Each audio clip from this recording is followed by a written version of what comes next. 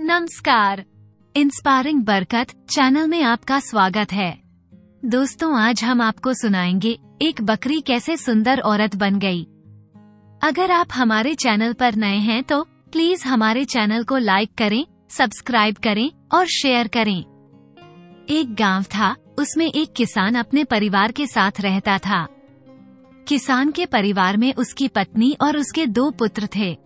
दोनों पुत्र पढ़ लिख कर बड़े हो गए थे और किसान अब बूढ़ा था। अब खेती बाड़ी का काम संभालने में उसे बड़ी दिक्कत होती थी। इस पर दोनों भाइयों ने किसान के पास जाकर कहा, पिताजी, अब आप बूढ़े हो गए हैं और अब हम दोनों भाई जवान हैं तो हम आपका हाथ बटाना चाहते हैं। इस पर किसान ने कहा, बेटा, वो तो तुम्हारी बात बहुत अच्छी है और मुझे ये सुनकर बहुत खुश भी हुआ हूँ कि मेरे बच्चे मेरे बारे में सोचने लगे हैं, क्योंकि बेटा हम किसान हैं और फ़सल उगाते हैं, लेकिन फ़सल में हमें कभी कभी फ़ायदे की जगह नुकसान होता है। कभी कभी जो बारिश नहीं होती है, कभी ओलावृष्टि हो जाती है, जिसके कारण हमारी फ़सल को नुकसान होता है। इसलिए मैं चाहता हूँ कि जो ज़मीन मेरे पास है, उस पर तो मैं जैसे तैसे फ़सल बोई ही रहा हूँ, फिर खेती कर ही रहा हूँ। मैं चाहता हूँ कि तुम दोनों नगर में जाओ और दूसरे नगर में कोई व्यापार करो। कुछ कमा कर लाओ। दोनों भाइयों को अपने पिता की बात जच गई। दोनों भाई कहने लगे, ठीक है, पिताजी, हम दूसरे नगर में जाएँगे और कुछ कमा कर लाएँगे। दोनों भाई अपनी माँ से आज्ञा लेने के लिए चल पड़े। जब वो अपनी माँ के पास पहुँचे तो माँ खाना बना रही थी। माँ ने दोनों बेटों को बड़े प्यार से खाना परोसा और वे कहने लगे क्योंकि बड़े बेटे की शादी भी हो चुकी थी तो बड़ा बेटा भी अपनी पत्नी से भी मिलकर कहने लगा कि देखो हमारे पिताजी ने बड़े दुख दर्द से हमें पाला पोसा है अब हमारा फ़र्ज़ बनता है कि वे आराम करें और हम कमा कर उन्हें खिलाएँ। उसकी पत्नी ने कहा जो आप करोगे वही अच्छा ही है मुझे तो बड़ी खुशी है कि आप कमाने के लिए जा रहे हो यहाँ पर सासू माँ हैं, पिताजी हैं। मैं उनकी सेवा करूँगी और अपने घर में जैसा भी है, उनके साथ खुशी खुशी रहूँगी। माँ जो खाना बना रही थी, माँ ने दोनों भाइयों के लिए खाना परोसा और बड़े प्यार से उन्हें खाना खिलाने लगी। दोनों भाइयों ने अपनी माँ को परदेश जाने की बात कही। तो माँ ने कहा, बेटा, पूरब जाना, पश्चिम जाना, उत्तर जाना, लेकिन दक्षिण दिशा में मत जाना। दोनों भाई कहने लगे, ठीक है माँ और वहाँ से अपने घोड़े लेकर चल दिए, क्योंकि पहले जमाने में घोड़ों से ही सफ़र तय किया जाता था। अब दोनों भाई चलते चलते गाँव से काफ़ी दूर निकल गए। रास्ते में बहुत बड़ा जंगल था। चलते चलते दोनों भाई थक गए। तभी दोनों भाइयों ने देखा कि एक बहुत भारी सा पेड़ था और उसके पास एक कुटिया बनी हुई थी। उसी पेड़ के नीचे एक बकरी बंधी हुई थी। दोनों भाइयों ने सोचा कि ज़रूर यहाँ पर कोई रहता होगा। चलते चलते भूख प्यास का भी एहसास उन्हें होने लगा था। धूप भी ज़्यादा थी। दोपहर का समय था। दोनों भाई सोचने लगे कि थोड़ी देर इस पेड़ के नीचे विश्राम कर लें। जलपान कर लें, तब अपना आगे का सफ़र तय करेंगे। लेकिन दोनों भाई चलने के चक्कर में ये भूल गए कि जिस दिशा में जाने के लिए माँ ने मना किया था उसी दिशा में वो पहुँच गए। वे पूरब, पश्चिम, उत्तर छोड़कर दक्षिण दिशा में चले गए। इस बात का तो उन्हें ध्यान ही नहीं रहा। जब दोनों भाई वहाँ पर बैठकर आराम करने लगे तो बड़े भाई ने कहा कि देखो कहीं आसपास तालाब भी होगा। प्यास भी बहुत जोरों से लग रही है। छोटा भाई कहने लगा कि ठीक है, मैं जाकर देखता हूँ। अगर पानी होगा तो आप विश्राम कीजिए, मैं आपके लिए पानी लेकर आता हूँ। छोटा भाई पानी की तलाश में आगे चला गया, और बड़ा भाई घोड़े बांधकर और वहीं पर बैठकर आराम करने लगा। जैसे ही बड़े भाई, क्योंकि थक गया था, ऊपर से गर्मी बहुत थी। पेड़ की शीतल छाया मिली, और वह लेटा तो तुरंत उसको झपकी आ गई। झपकी आ गई तो क्या देखता है कि, जो बकरी बंधी हुई है, वो एक बहुत सुंदर औरत में बदल गई। बहुत सुंदर नारी बन गई। वो नारी आकर उससे तरह तरह की मीठी बातें करने लगी। वो व्यक्ति जो बड़ा भाई था, वो उसके साथ प्यार मोहब्बत की बातें करने लगी, और उससे कहने लगी कि तुम मुझसे शादी कर लो। इस पर बड़े भाई ने कहा कि, देखो मैं शादीशुदा हूँ और अपनी पत्नी को घर पर छोड़कर आया हूँ। और कमाने के लिए परदेश अपने छोटे भाई के साथ जा रहा हूँ। इसलिए ये सोचना तो अनुचित है। तभी उस औरत को इतना गुस्सा आया, क्योंकि वह दरअसल एक राक्षसनी थी और बड़े भाई और छोटे भाई दोनों पर मोहित थी। लेकिन तभी उसे इतना गुस्सा आया, जब उसका प्रस्ताव अस्वीकार कर दिया तो उसने तुरंत बड़े भाई को निगल लिया, और उसके घोड़े को भी निगल गई, और फिर बकरी बन उसी पेड़ के नीचे बंध गई। अब छोटा भाई जब पानी तलाश कर लाया तो देखने लगा कि मेरा बड़ा भाई कहाँ चला गया। वो चारों तरफ़ निगाह उठाकर देखता है, लेकिन बड़ा भाई उसे नज़र नहीं आ रहा तो बेचारा इधर उधर भाग भाग कर देखता है कि कहीं भाई पानी की तलाश में तो कहीं नहीं चला गया। उसके मन में तरह तरह के विचार आते हैं कि कहीं मेरा भाई मुझे छोड़कर तो नहीं चला गया। ऐसे सोचते सोचते वो सोचता है कि बचपन से अब तक दोनों भाई हम साथ रहे हैं। छोड़कर जाने का तो सवाल ही नहीं। अगर भगवान भी आकर कहें कि, मेरा भाई मुझे धोखा देकर चला गया है तो मैं नहीं मान सकता। ज़रूर मेरे भाई के साथ कोई न कोई अप्रिय घटना हुई है, या फिर वो मुझे ढूँढने के लिए गया होगा। अगर वह मुझे ढूँढने के लिए गया होगा, क्योंकि मुझे भी पानी लाने में बहुत समय लग गया है। अगर वो मुझे ढूँढने गया है तो मैं यहीं बैठ करके अपने भाई का इंतज़ार करता हूँ, और वो भी उसी पेड़ के नीचे बैठ गया। तभी उसने देखा कि जो बकरी है, उसमें अजीब सी हलचल हो रही है। क्योंकि छोटा भाई बहुत समझदार था, बहुत बुद्धिमान था। अब वो विचार करने लगा कि तभी तुरंत उसे याद आया कि माँ ने कहा था कि तीनों दिशा जाना, पूरब जाना, पश्चिम जाना उत्तर जाना, लेकिन दक्षिण दिशा मत जाना। उसने विचार किया और देखने लगा तो वह कहने लगा, ये हमसे क्या हो गया? जिस दिशा में आने के लिए माँ ने मना किया, उसी दिशा में हम लोग आ गए। खैर, अब जो हो गया, सो हो गया। अपने बड़े भाई का इंतज़ार करता हूँ, और यहीं से हम वापस चले जाएँगे। तब उसने देखा कि जो बकरी है, वो बहुत सुंदर औरत बन गई, और उसके पास आई। क्योंकि वो औरत तो जो राक्षसनी सोच रही थी कि इस लड़के ने मुझे देखा नहीं है, सोया हुआ है। लेकिन वो सो नहीं रहा था। वो अपने विचारों में खोया हुआ था, लेकिन उसने बकरी से सुंदर नारी बनते हुए देख लिया था। तभी वो औरत उसके पास आई और उससे विवाह का प्रस्ताव रखने लगी। अब वो लड़का समझ गया कि ज़रूर यह कोई मायावी है। इसने ही मेरे भाई के साथ कुछ अनर्थ किया है। लेकिन अपनी जान खतरे में देखकर उसने बड़ी बुद्धिमानी से काम लिया क्योंकि एकदम से उससे पीछा छुड़ा नहीं सकता था। तुरंत ही वो कहने लगी कि, तुम मुझसे शादी करोगे। बातों ही बातों में वो उसका ध्यान भटका कर तुरंत पेड़ पर चढ़ गया। और ऊपर चढ़कर कहने लगा कि, अब जो कहना है कहो। तब वो कहने लगी कि, तुम बहुत अच्छे सुंदर लड़के हो। तुम्हें देखकर मेरा मन ललचा रहा है। क्योंकि वह तो राक्षसनी थी, उसे तो खून पीना था। लेकिन वह दिखावा कर रही थी, कह रही थी कि मुझे तुमसे शादी करनी है। छोटा भाई कहने लगा कि, शादी तो मैं तुमसे कर लूँगा। पहले ये बताओ कि, मेरा बड़ा भाई कहाँ है? उसका घोड़ा और मेरा बड़ा भाई कहाँ है? इस पर वह राक्षसनी कहने लगी, अब मैं समझ गई तुम मेरी हकीकत जान चुके हो, और या तो तुम सीधे सीधे मेरी बात मान लो नहीं तो मैं तुम्हें भी निगल जाऊँगी। जब उसकी बातों बातों में उसका राज खुल गया, छोटा भाई समझ गया किसी ने मेरे भाई के साथ कुछ अनहोनी की है। वो कहने लगा कि, तुझ जैसी दुष्ट स्त्री के साथ विवाह के बारे में भी सोचना अनर्थ है। तूने मेरे भाई के साथ अनर्थ कर डाला। बिना भाई के मैं उसकी बीवी को क्या जवाब दूँगा? हम तो परदेश कमाने के लिए निकले थे। अब वो कहने लगी या तो तुम मुझसे विवाह कर लो, नहीं तो मैं तुम्हें भी निगल जाऊँगी। लेकिन लड़का पेड़ के ऊपर था, और उस राक्षसनी को पेड़ पर चढ़ना आता नहीं था। पेड़ पर चढ़कर उसने अपनी जान बचा रखी थी। उसे बहुत देर हो गई। दोनों आपस में बातें कर रहे थे, तभी उसे घोड़े की ठक ठक की आवाज़ आने लगी। वो दोनों उस दिशा में देखने लगे कि ज़रूर कोई चला आ रहा है। तभी दोनों की नज़र पड़ी। एक राजा उधर से निकल रहा था। अब उस राक्षसनी ने सुंदर औरत का रूप धर लिया। अच्छे अच्छे गहने पहन लिए। राजा एक सुंदर औरत और वृक्ष पर चढ़े हुए व्यक्ति को देखकर उन दोनों के पास आकर पूछने लगा कि, तुम दोनों, क्या परेशानी है?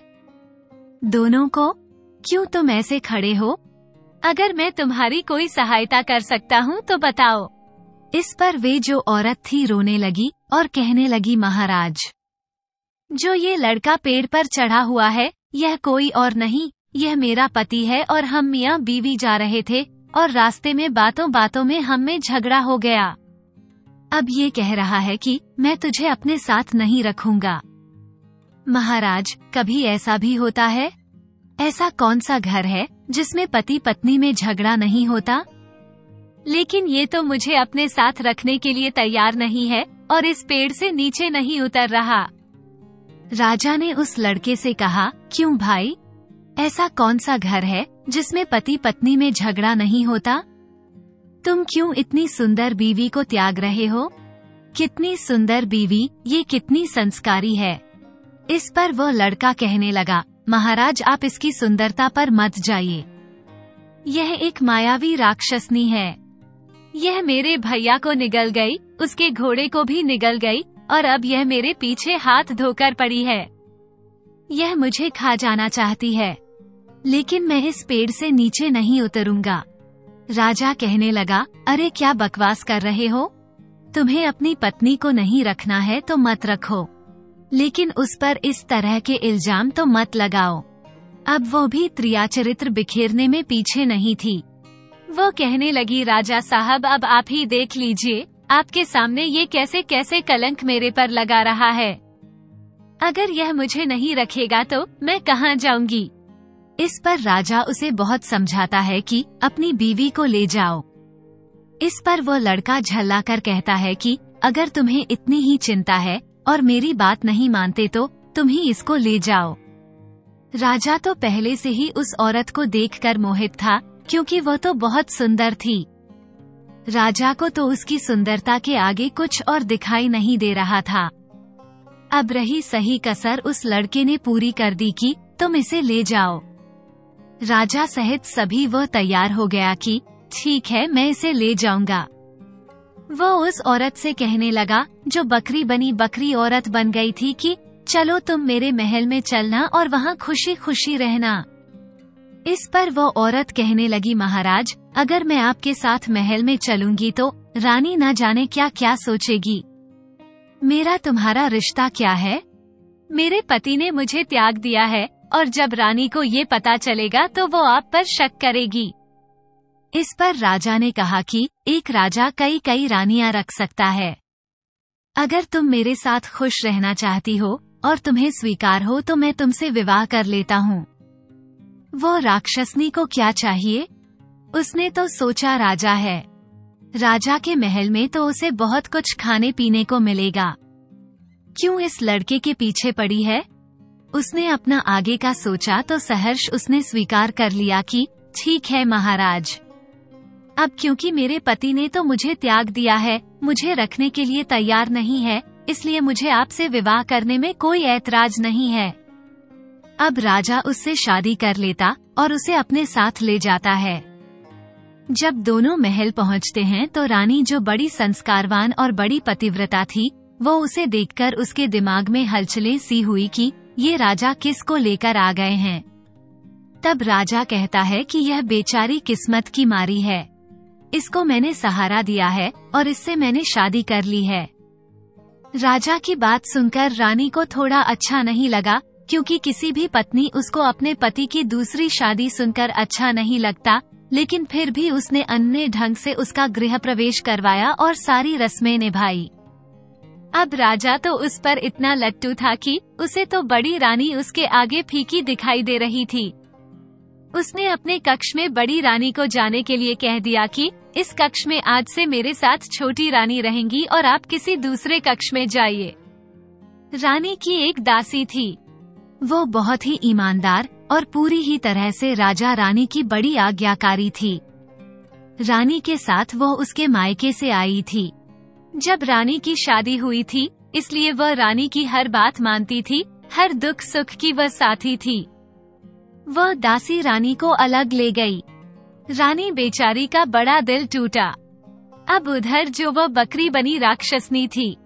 रात को तो वह जब राजा सो जाता तो वह कोई भी रूप धरती और राजा के जो अस्तबल में घोड़े थे, हाथी थे, गाय भैंसे कितने ही राजा के पास जानवर थे, उसमें जाती और एकाद ऊँट, हाथी, घोड़ा जो भी मौका लगता उसको निकल ले आती और आकर सुंदर रानी बनकर फिर राजा के पास आकर लेट जाती। राजा को तो उसके रूप जाल में ऐसा फंसा था कि कुछ दिखाई नहीं देता था। एक दिन धीरे धीरे अब जो एक दो दिन की बात हो, कभी भेड़ कभी बकरी, कभी घोड़ा, कभी हाथी कम होने लगी। धीरे धीरे छह महीने का समय बीत गया। छह महीने में तो काफ़ी सारे हाथी घोड़े कम हो गए। कई कई नौकर चाकर भी कम हो गए। दास दासियाँ भी कम होने लगी। ये बड़ी रहस्यमयी बात थी कि आखिर सब गए कहाँ? अब बड़ी रानी को कुछ शंका हुई। उसने छोटी रानी से जो दासी थी, उससे कहा कि जो छोटी रानी है हम दोनों उसकी जो जासूसी करेंगे, पता करेंगे कि आखिर यह क्या है। क्योंकि मुझे तो इस पर शुरू से ही शक है। अब एक रात जब राजा सो गया, छोटी रानी अपने असली भेष में आई, और अस्तबल की तरफ़ चल दी तो बड़ी रानी और उसकी दासी उसका पीछा कर रही थी। जैसे ही वह अस्तबल में पहुँची तो उसने एक घोड़ा उठाकर निगल गई और एक वहाँ पर चौकीदारी कर रहा था, उसको भी खा गई। ये देखकर तो रानी और दासी के पैरों तले ज़मीन खिसक गई। वे जब रानी आकर, घर अपने कक्ष में आकर राजा के साथ अपने आराम से सो गई। अगली सुबह बड़े राजा जो बड़ी रानी थी, राजा के पास गई और कहने लगी, महाराज, हम आपको कुछ बताना चाहते हैं। महाराज ने कहा, कहिए रानी, क्या कहना चाहती है? इस पर बड़ी रानी कहने लगी, महाराज, जो आपकी यह छोटी रानी है, यह कोई रानी वाणी नहीं है कोई स्त्री नहीं है। यह एक राक्षसनी है। अब तक तुम्हारे महल में जो भी रहस्यमयी चीज़ें हो रही हैं, कि लोग कहाँ जा रहे हैं हाथी घोड़े क्यों कम हो रहे हैं यही उनको खा जाती है क्योंकि इनको हमने अपनी आँखों से देखा है। अब जो छोटी रानी त्रिया चरित्र बिखेरने में माहिर थी वो रोने लगी। कहने लगी बड़ी दीदी आप कम से कम मेरे ऊपर ऐसा इल्ज़ाम तो नहीं लगाइए। मैं आपको पसंद नहीं हूँ। आप जानती हैं और मैं भी जानती हूँ। आप मुझसे कितना जलती हैं।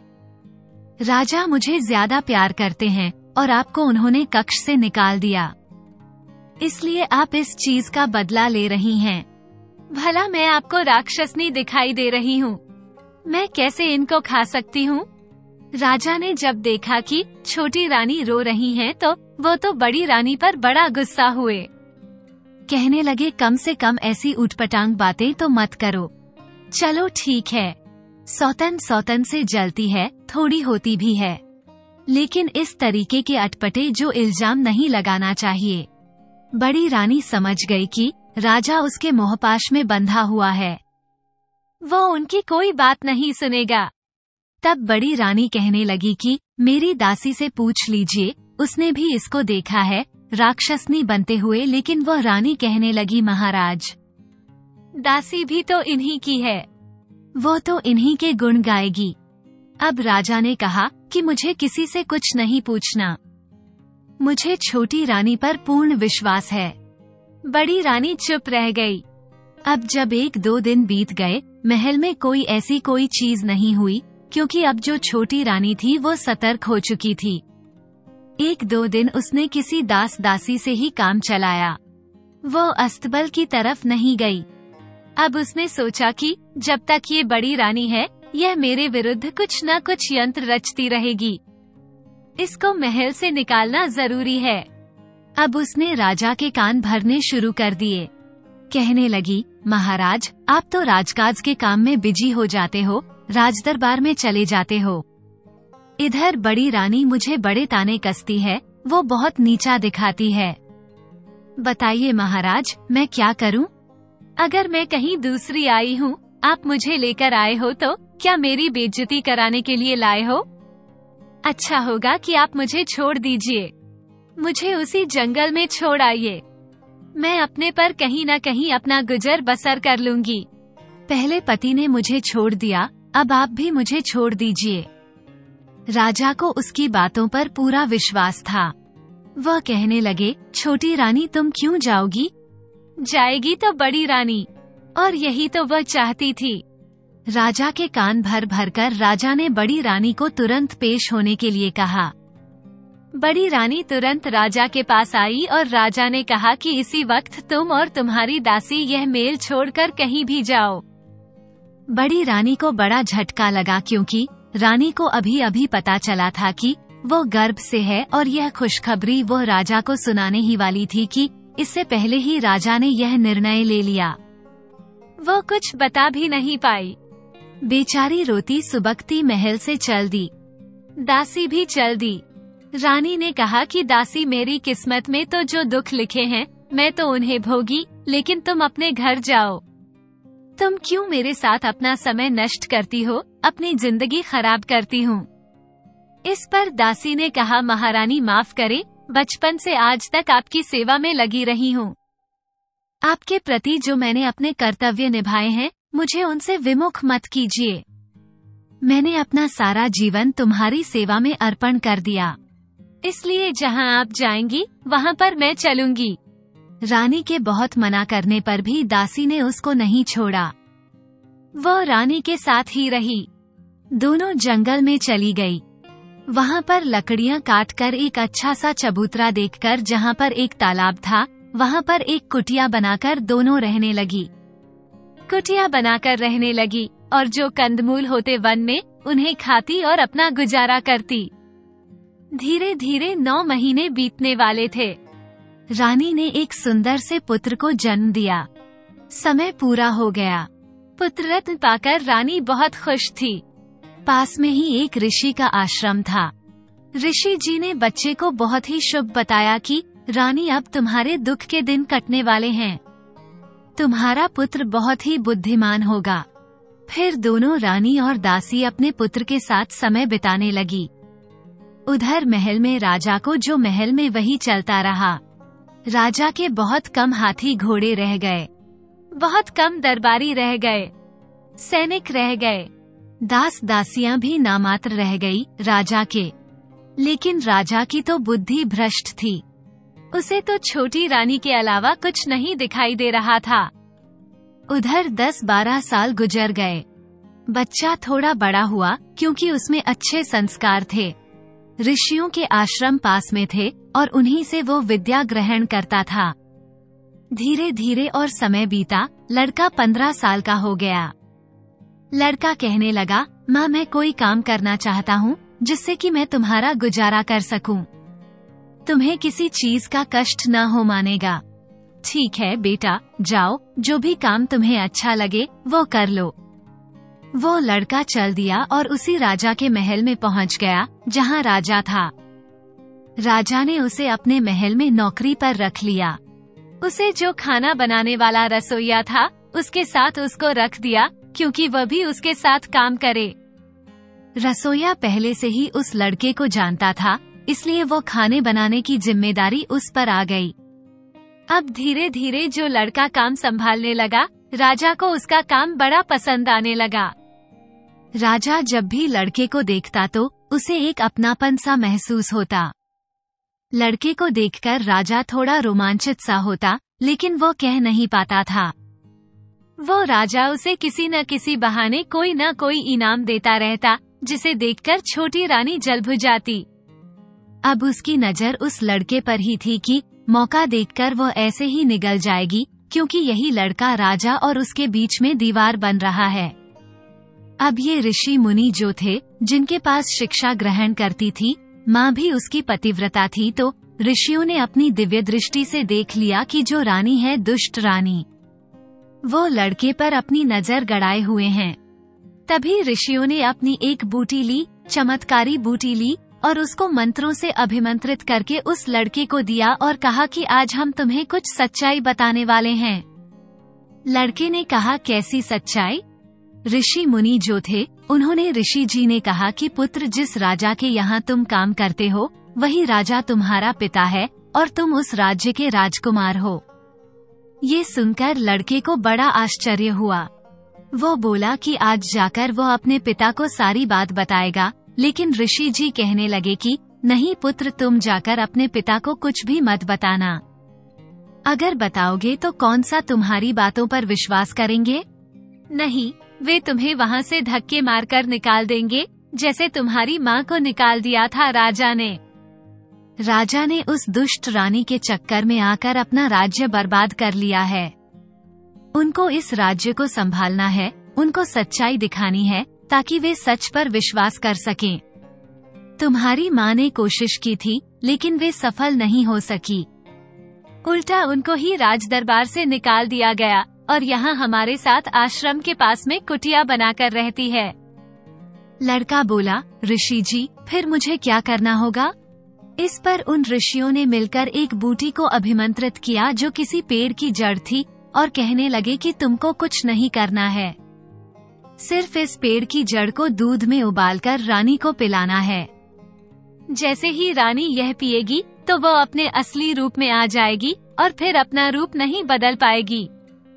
यही एक उपाय है जो राजा को सच्चाई दिखा सकता है।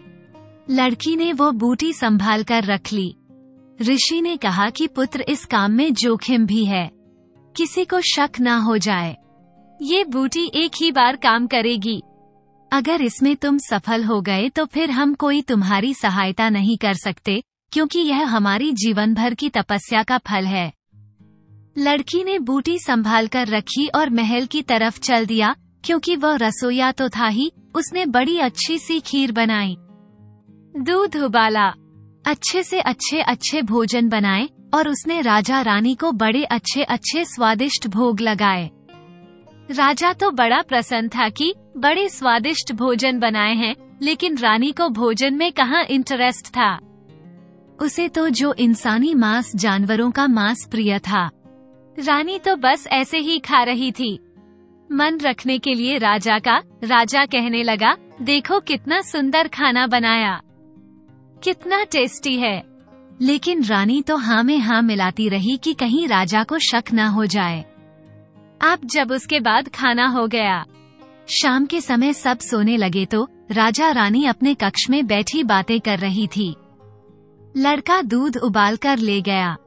बड़ी सावधानी से उसने एक गिलास राजा को दिया और एक राक्षसनी रानी को दिया। रानी कहने लगी, उसे दूध नहीं पीना है।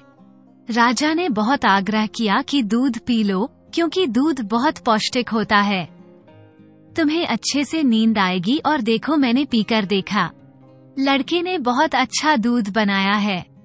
बिल्कुल बहुत अच्छी खोवे की खुशबू आ रही है। लेकिन रानी को दूध कहाँ अच्छा लगता था?